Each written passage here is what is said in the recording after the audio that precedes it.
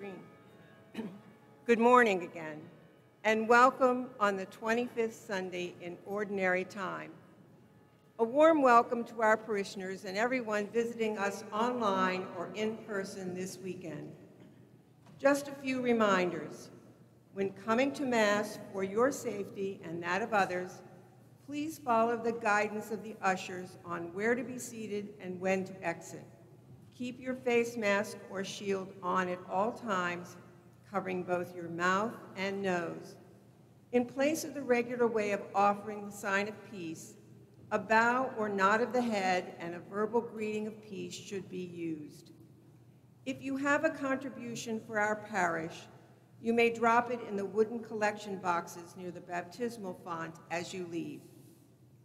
Weekday public masses are offered at 9 a.m. Tuesday through Friday. Wednesday is our Mass for seniors. There is no registration for weekday masses. However, please continue to res res register for weekend masses. In celebration of the Feast of St. Francis of Assisi, please join us in two weeks on Saturday, October 3rd from 10 a.m. to 11 a.m. for a drive-through blessing of animals.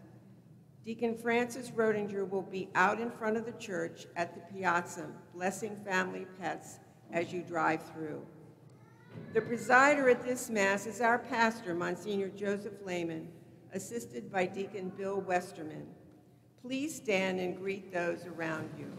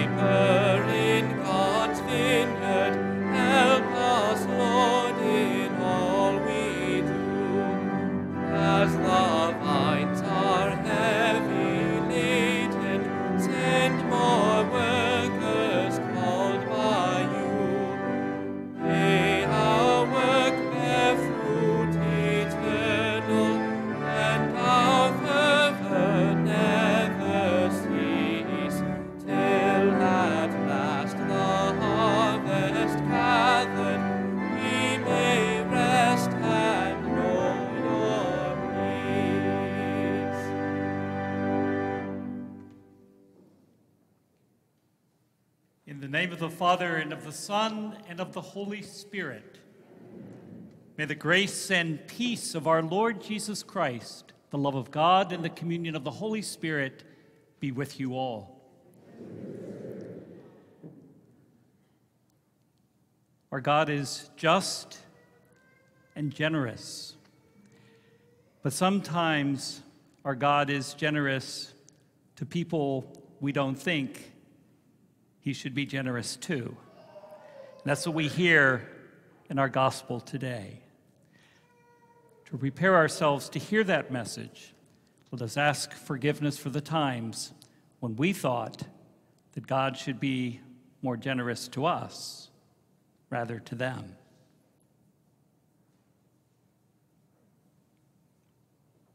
Lord Jesus, you were sent to heal the contrite of heart. Lord, have mercy. Lord, have mercy. You came to call sinners. Christ, have mercy.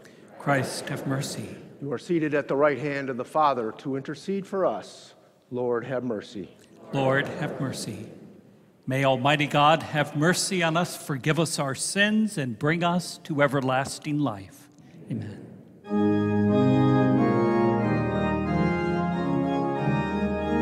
Glory to God in the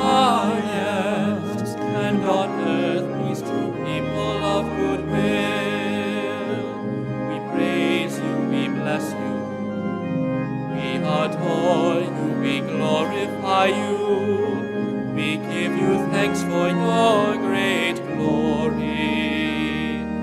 Lord God, heavenly King, O God, Almighty Father. Lord Jesus Christ, only begotten Son, Lord God, Lamb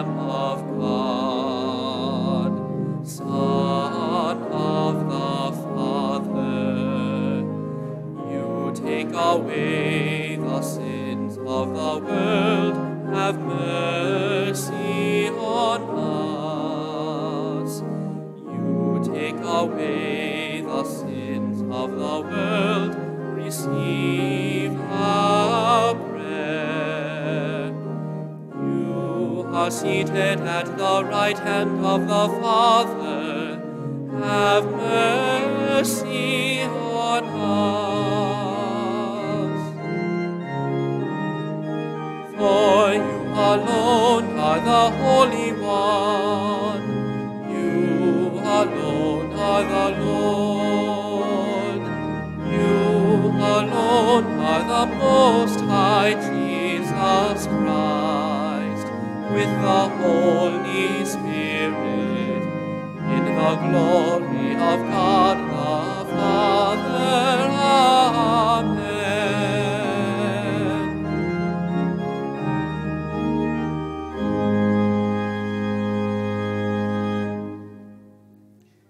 Let us pray.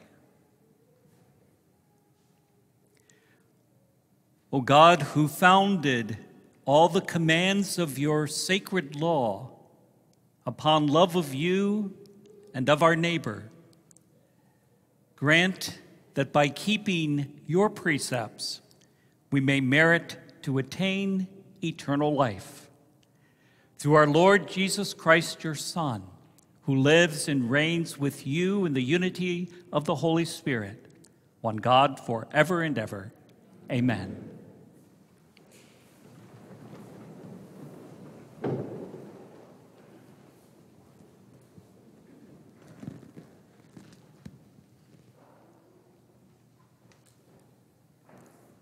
A reading from the book of the prophet Isaiah.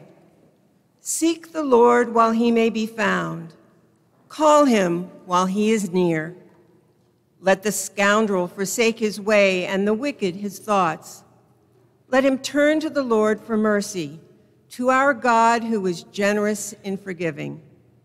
For my thoughts are not your thoughts, nor are your ways my ways, says the Lord. As high as the heavens are above the earth, so high are my ways above your ways, and my thoughts above your thoughts. The word of the Lord.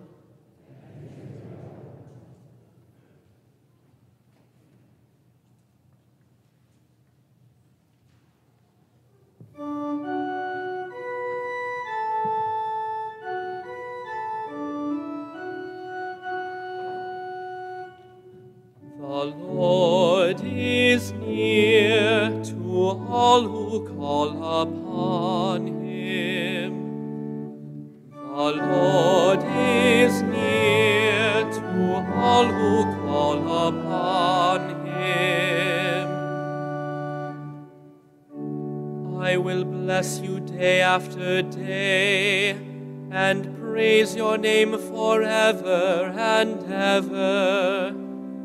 The Lord is great and highly to be praised. His greatness cannot be measured.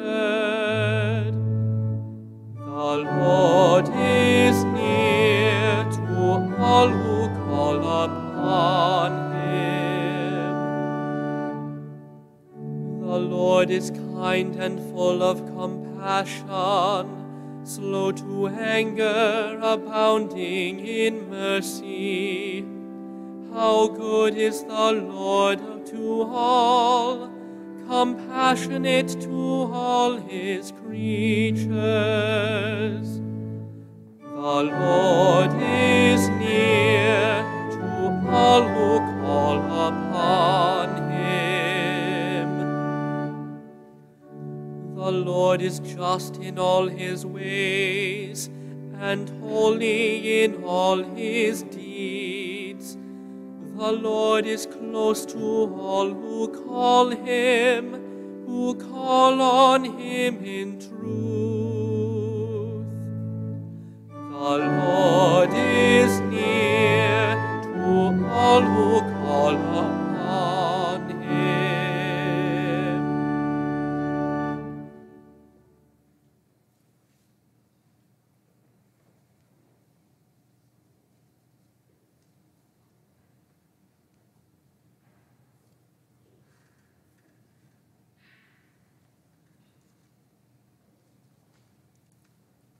A reading from the letter of St. Paul to the Philippians.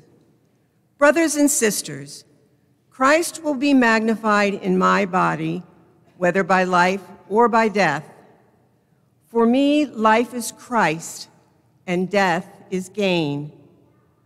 If I go on living in the flesh, that means fruitful labor for me, and I do not know which I choose. I am caught between the two. I long to depart this life and be with Christ, for that is far better. Yet that I remain in the flesh is more necessary for your benefit.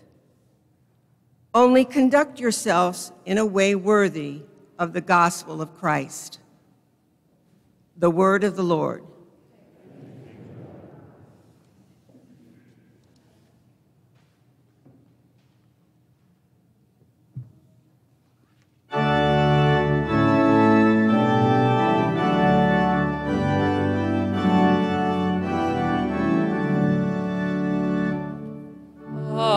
Alleluia,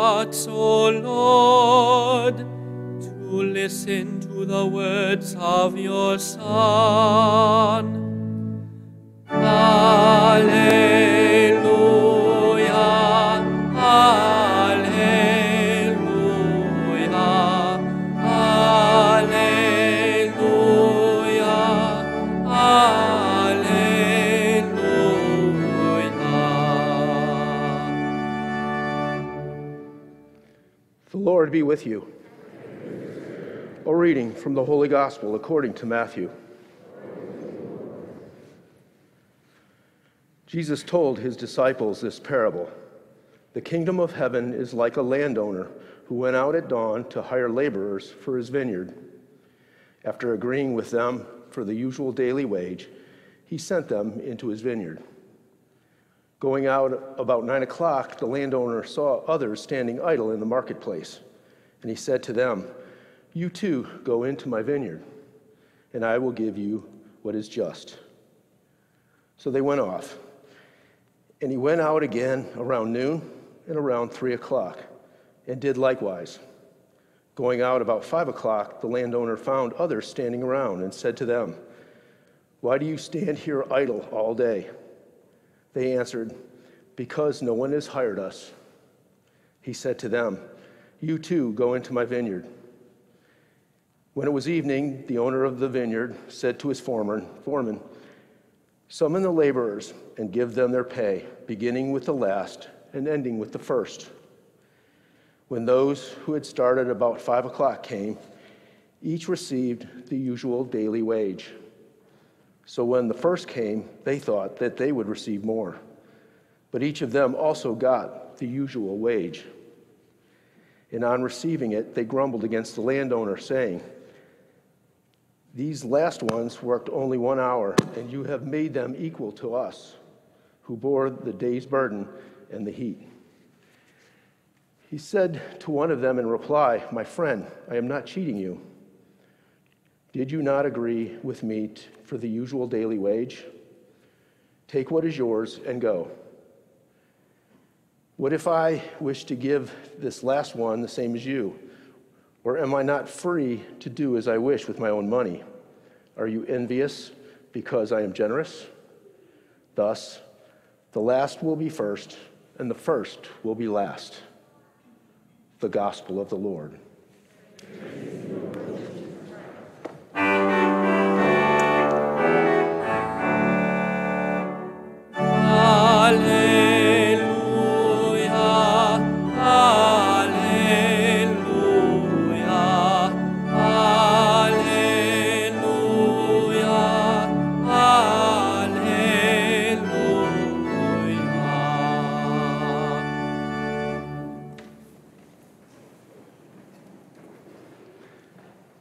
This parable always reminds me of my brother.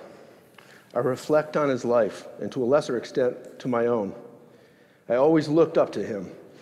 He was kind and loving, and he helped me through some very tough times. My brother, actually my half brother, was 15 years older. He joined the Army at 17 and quickly served two tours in Vietnam. That and 20 years with the 101st Airborne Division left him physically and spiritually broken. He essentially could not hear God calling him to come back to the vineyard. He remained idle and lost for just about his whole life. His yoke was heavy and his burden was great. The last time I visited him in the hospital, right before he died, I entered his room and he was sleeping. I saw joy and peace in his face. The pain and the agony from the cancer was virtually gone. When he woke, he told me that he had saw a priest the day before. He confessed his sins and took the Eucharist after decades. I knew then that he had received his reward. Today, he is still with me, always guiding me, still cultivating fruit in God's vineyard.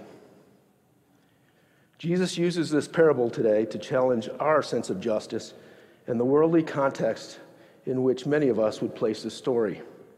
In fact, that is explicitly what the owner of the vineyard promises to the laborers who harvest his fruit justice in the form of just compensation for the amount of labor provided. Yet he delivers what seems at first blush to be most unjust results, paying everyone for the, the same amount of money for unequal effort. The apparent injustice is obvious. However, Jesus' ultimate lesson is found below the surface of the text. This is not a lesson on economic or social justice, but about the understanding the unfathomable love and generosity of God.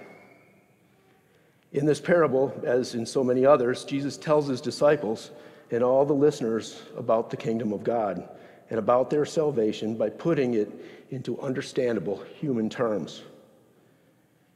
His larger audience, in this case, were the Israelites, the group from which the, disciple, the disciples came, who saw the Messiah as a mechanism for temporal salvation and their identity as a mechanism for eternal salvation. However, this parable warns the Israelites that they will not be alone in eternal salvation, nor will they have a greater share of it than others. As in other parables, Jesus warns against the arrogance of presumption, even for those who think they are already saved. Do not look on others with envy or contempt if perceived transgressors receive the same, same rewards as the righteous. Remember, Jesus was called a drunkard and a sinner who hung around with tax collectors and prostitutes. C.S. Lewis had a marvelous passage in his Screwtape Letters in which the devil urged his nephew tempter Wormwood to attack a mother's sense of injustice, that her son may have recommitted himself to Christianity through some other path than her own teachings. We know people who have converted late in life, and while we know intellectually that it has no bearing on salvation in eternity, it can t- still tug at our senses of temporal justice which can produce envy and jealousy about those folks getting the same deal we got, even though we got there first and have been working at it much longer. Remember the brother and the prodigal son. The son who was righteous is shown to have suffered from the same fault when he saw his brother, his prodigal brother, enjoy, enjoying great honor, even more than himself. It just doesn't seem fair, does it? But God's thoughts are not our thoughts, nor his ways our ways. In this case, the structure of compensation is irrelevant. We are all equal in salvation, and we will receive his reward once we answer God's call. The landowner goes out at dawn to look for those who will join him in his work of salvation. He goes out again and again, no matter how late the hour, to find those who are idle or lost, poor physically and spiritually, in order to invite them into his vineyard. We can look at this in a historical perspective on the economy of salvation, from Adam and Eve to the present day. And we can also look at that in the history of the church or in our own families and communities. We can and should look at it in the course of our own lives as his call comes at various times to bring us back into the love of the Lord and into the vineyard of salvation. God needs cultivators in his vineyard, and he wants us to help him. No matter how late the hour, we can all rejoin the harvest, not as a sense of fairness, but one of awe at the love and generosity of the Creator. And our gentle toll in the vineyard does not help us gain dignity as, as laborers, but to help us obtain the divine inheritance as his children. When we see that, we also see the dignity and grace of our fellow vineyard workers in the one harvest as collective children of God. And we are blessed to have the same compensation in the end. When we look at this parable from this perspective, the landowner suddenly becomes very, very fair indeed. So, as we prepare to celebrate in the great sacrifice of the Mass, may we all turn to Jesus and ask Him, how can we better serve the Father in His vineyard? And ask to receive the needed grace to help others join in the salvation work of God, forever bearing fruit in His vineyard. And may we all rejoice exceedingly as fruitful members in the kingdom of God.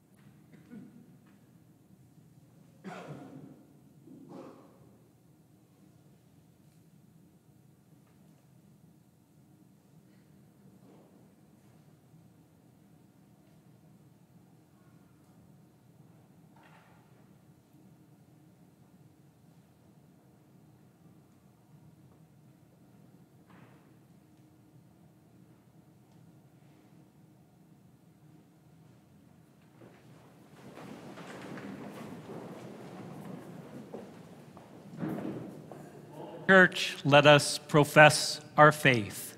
I believe in one God, the Father Almighty, maker of heaven and earth, of all things visible and invisible. I believe in one Lord, Jesus Christ, the only begotten Son of God born of the Father before all ages, God from God, light from light, true God from true God, begotten, not made, consubstantial with the Father. Through him all things were made. For us, for our salvation, he came down from heaven, and by the Holy Spirit was incarnate of the Virgin Mary and became man. For our sake he was crucified unto Pontius Pilate. He suffered death and was buried, and rose again on the third day in accordance with the Scriptures. He ascended into heaven and is seated at the right hand of the Father. He will come again in glory to judge the living and the dead, and his kingdom will have no end. Believe in the Holy Spirit, the Lord, the giver of life, who proceeds from the Father and the Son who with the Father and the Son is adored and glorified, who has spoken through the prophets.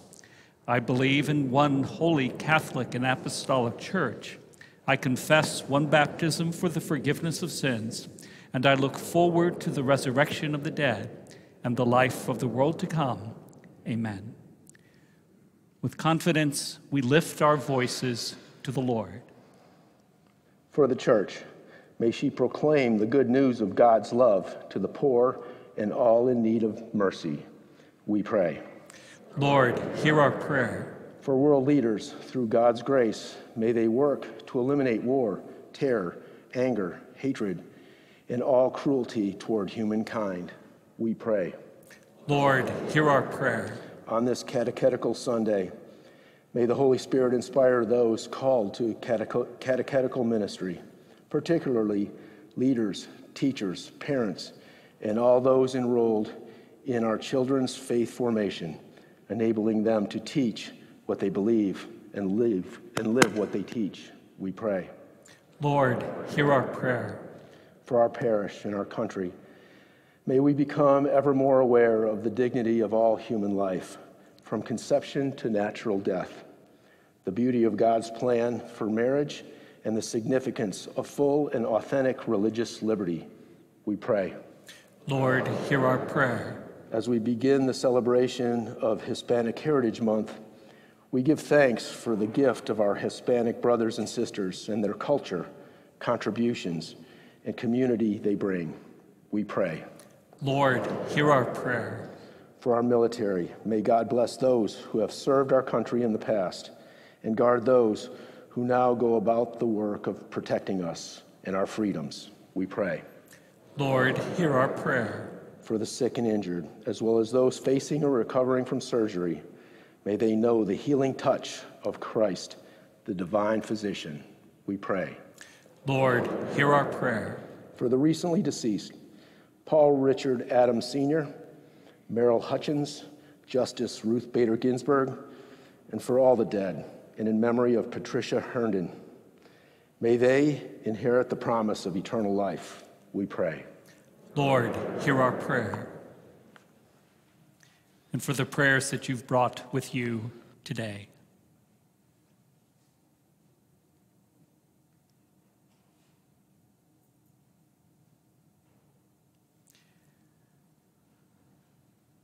You welcome those who heed your call God and master of the vineyard, no matter how late the hour or how meager their labor. For all is your grace, unmerited and free. Let us who rejoice in your graciousness toward us never begrudge your generosity toward, towards others. May we work together without ceasing for the coming of your kingdom. And this we ask through Christ our Lord. Amen.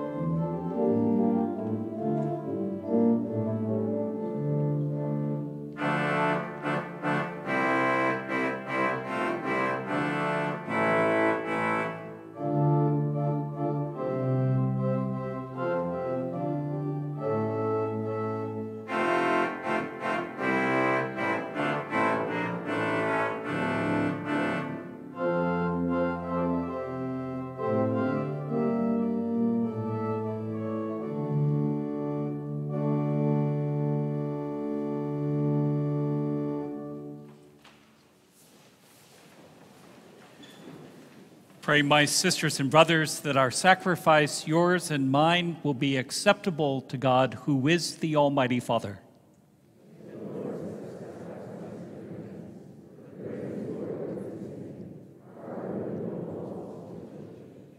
Amen. Receive with favor, we pray, O Lord, the offerings of your people, that what they profess with devotion and faith may be theirs through these heavenly mysteries. Through Christ our Lord. Amen. The Lord be with you. Lift up your hearts. Let us give thanks to the Lord our God.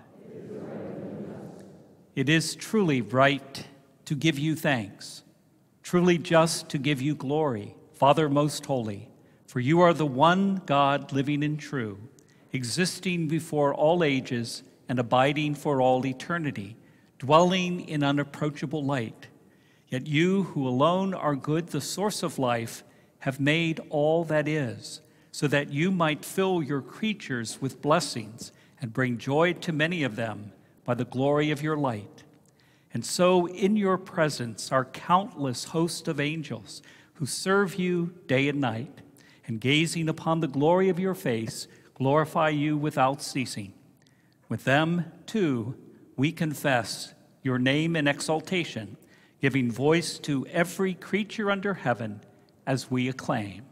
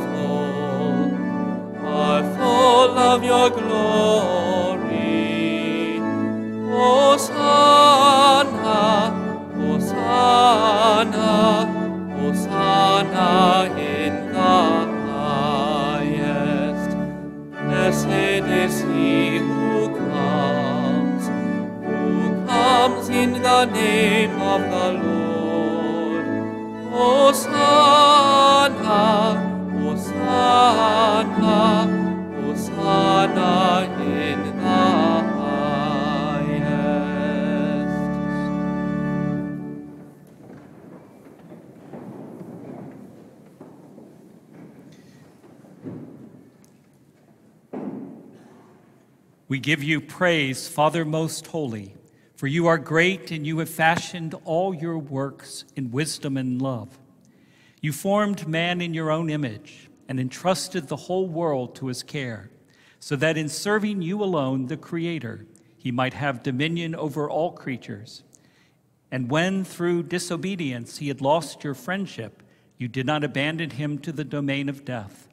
For you came in mercy to the aid of all, so that those who might seek you might find you. Time and time again you offered them covenants, and through the prophets taught them to look forward to salvation. And you so loved the world, Father most holy, that in the fullness of time you sent your only begotten Son to be our Savior. Made incarnate by the Holy Spirit and born of the Virgin Mary, he shared our human nature in all things but sin. To the poor, he proclaimed the good news of salvation, to prisoners, freedom, and to the sorrowful of heart, joy. To accomplish your plan, he gave himself up to death, and rising from the dead, he destroyed death and restored life. And that we might live no longer for ourselves, but for him who died and rose again for us, he sent the Holy Spirit from you, Father, as the first gifts for those who believe, so that bringing to perfection his work in the world, he might sanctify creation to the full. Therefore, O Lord, we pray, may the same Spirit graciously sanctify these offerings, that they may become the body and blood of our Lord Jesus Christ for the celebration of this great mystery which he himself left us and as an eternal covenant. For when the hour had come for him to be glorified by you, Father most holy, having loved his own who were in the world, he loved them to the end. And while they were at supper, he took bread, blessed it, broke it, and gave it to his disciples, saying, Take this, all of you, and eat of it, for this is my body, which will be given up for you.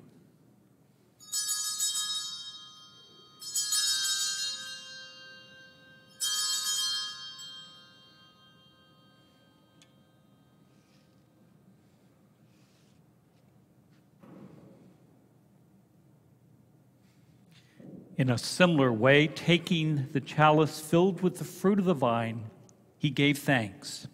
And he gave the chalice to his disciples, saying, Take this, all of you, and drink from it.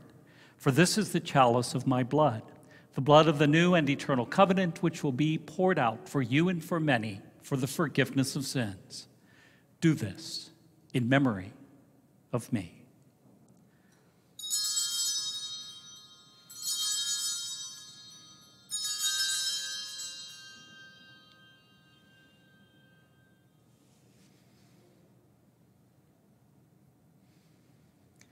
The mystery of faith.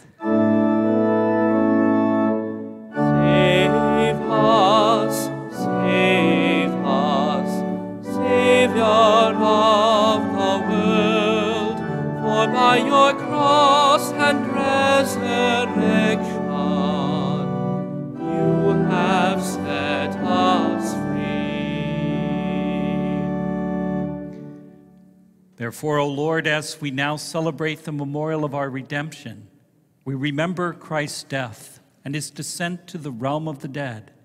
We proclaim his resurrection and his ascension to your right hand.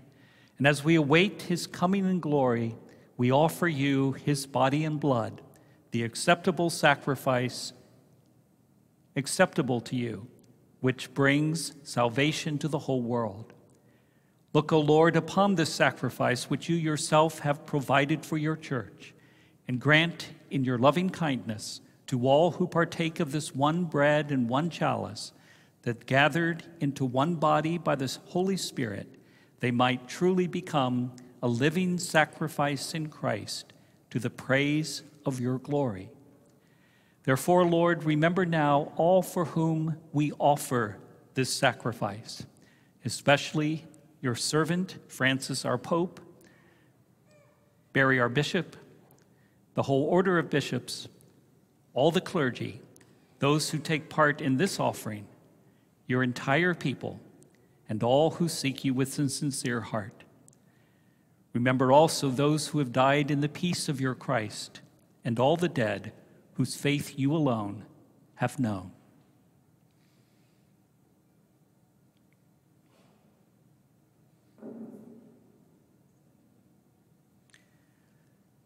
To all of us, your children, grant, O merciful Father, that we may enter into a heavenly inheritance with the Blessed Virgin Mary, Mother of God, with Joseph, her spouse, with your apostles and saints in your kingdom. There, with the whole of creation, freed from the corruption of sin and death, may we glorify you through Jesus Christ, through whom you bestow on the world all that is good. Through him and with him and in him, O God, Almighty Father, in the unity of the Holy Spirit, all glory and honor is yours forever and ever.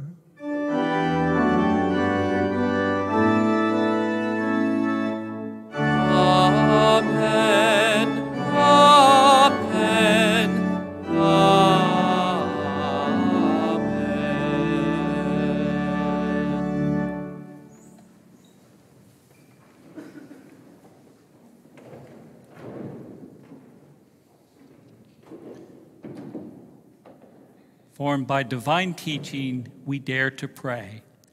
Our Father, who art in heaven, hallowed be thy name. Thy kingdom come, thy will be done, on earth as it is in heaven. Give us this day our daily bread, and forgive us our trespasses, as we forgive those who trespass against us. And lead us not into temptation, but deliver us from evil. Deliver us, Lord, from every evil. Graciously grant peace in our days, that by the help of your mercy we may be always free from sin and safe from all distress, as we await the blessed hope and the coming of our Savior, Jesus Christ.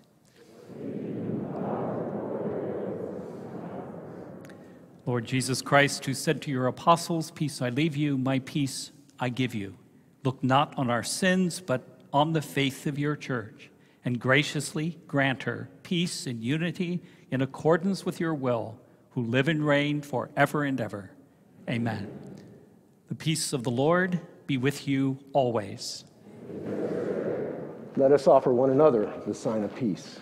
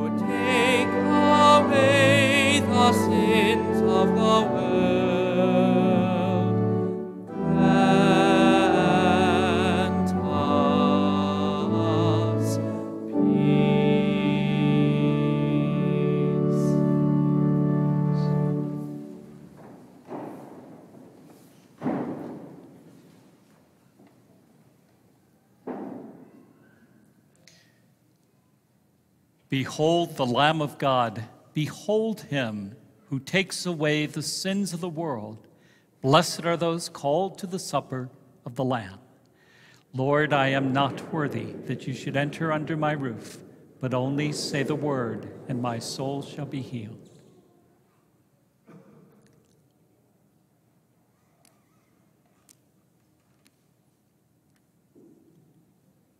As you process to receive Holy Communion, please follow the guidance of the ushers.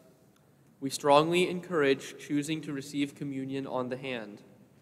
When you receive the host, please step to the side where there is a yellow marking on the floor before lifting your mask to consume the host. If you are wearing gloves, please remove them before receiving communion on the hand. After receiving communion, please go to your seat using the aisle on the other side of your section of pews. Remain in place until the end of Mass and wait for the ushers to dismiss each section before leaving. We thank you for your patience while these precautions remain in place.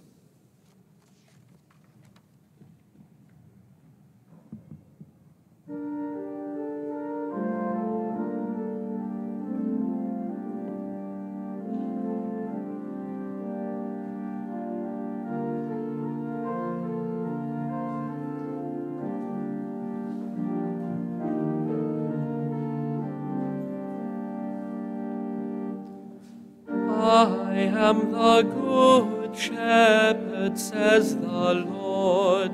Alleluia. I know my sheep and mine know me. Alleluia, alleluia. The Lord is my shepherd, there is nothing I shall want. Fresh and green are the pastures where he gives me repose. Near restful waters he leads me, he revives my soul. I am the good shepherd, says the Lord. Alleluia. I know my sheep and mine know me. Alleluia, Alleluia. He guides me along the right path for the sake of his name. Though I should walk in the valley of the shadow of death, no evil would I fear, for you are with me. Your crook and your staff will give me comfort. I am the good shepherd, says the Lord. Alleluia. I know my sheep and mine know me. Alleluia, Alleluia. You have prepared a table before me in the sight of my foes. My head you have anointed with oil, my cup is overflowing. I am the good shepherd, says the Lord. Alleluia. I know my sheep and mine know me. Alleluia, Alleluia. Surely goodness and mercy shall follow me all the days of my life. In the Lord's own house shall I dwell for length of days unending. I am the good shepherd, says the Lord. Alleluia. I know my sheep and mine know me. Alleluia, Alleluia. Glory be to the Father and to the Son and to the Holy Spirit, as it was in the beginning, is now, and ever shall be, world without end. Amen. I am the good shepherd, says the Lord. Alleluia. I know my sheep and mine know. Alleluia, Alleluia.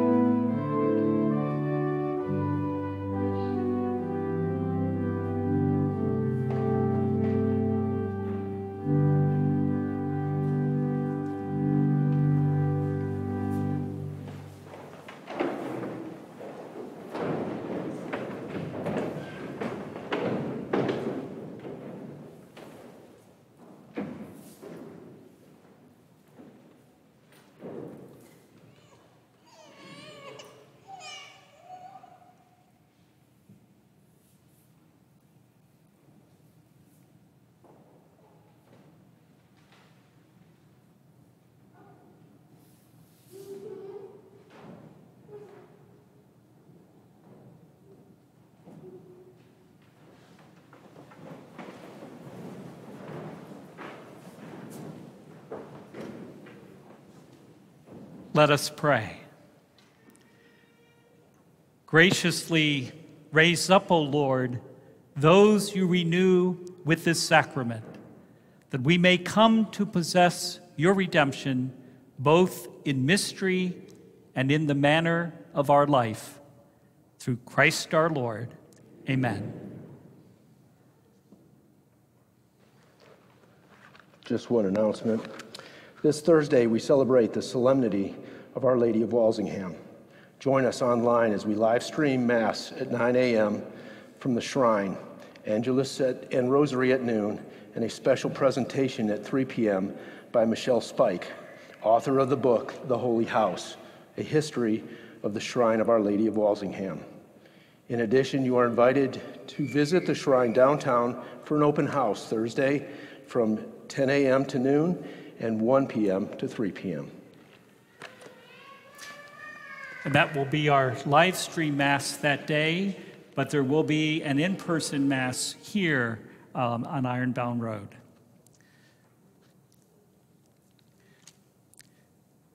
Parents and guardians, you are entrusted with a special role of responsibility in forming your children in the faith. For the pastoral activity of the church, the cooperation of a great many volunteers is also needed to serve as catechists for children, for serving with high school teens, and those serving as adult faith formation catechists, including the RCIA, the Rite of Christian Initiation of Adults. On this Catechetical Sunday, we offer a blessing to our catechists and to all parents and guardians, and that includes grandparents by the manner of their life. The Lord be with you. Bow down for the blessing. Lord God, source of all wisdom and knowledge, you sent your Son, Jesus Christ, to live among us and to proclaim his message of faith, hope, and love to all nations. In your goodness, bless our brothers and sisters who have offered themselves as catechists for your church. Bless, too, all parents and guardians, the first and primary catechists for their children. Strengthen them with your gifts, that they may teach by word and by example the truth that comes from you. May they grow in wisdom, understanding, and grace. Through Christ our Lord. Amen. And may the blessing of Almighty God, the Father, the Son, and the Holy Spirit come upon you and remain with you forever. Amen. Go in peace, glorifying the Lord by your life. Thanks be to God.